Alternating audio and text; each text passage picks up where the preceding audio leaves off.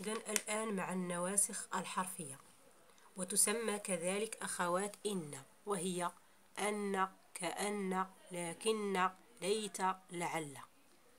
تدخل النواسخ الحرفية على المبتدأ والخبر. أيضا نفس الشيء.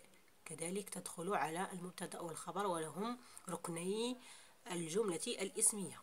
فتنصب الأول ويسمى اسمها وترفع الثاني ويسمى خبرها. إذا مثال على ذلك. البحر هائج. البحر هائج. إذا البحر مبتدأ. هائج خبر. إذا لاحظوا معي لما أدخلنا الناسخ الحرفي إن. إن. إن البحر هائج.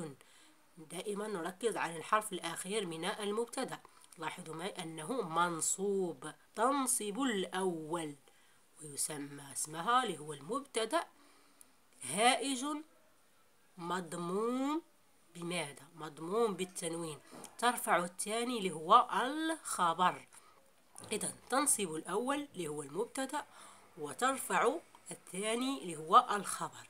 إذا هذا فيما يخص النواسخ الحرفية.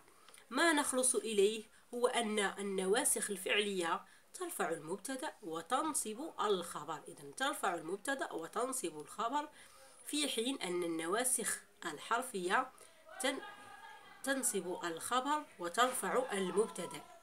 الاختلاف في الحركات الإعرابية فقط. الاختلاف في الحركات الإعرابية فقط. فكل من النواسخ الحرفية والنواسخ الفعلية تدخل على الجملة الإسمية. وفي الأخير أطلب منكم إنجاز أنشطة تطبيقية لهذه الدروس وشكرا على حسن إصغائكم وتتبعكم.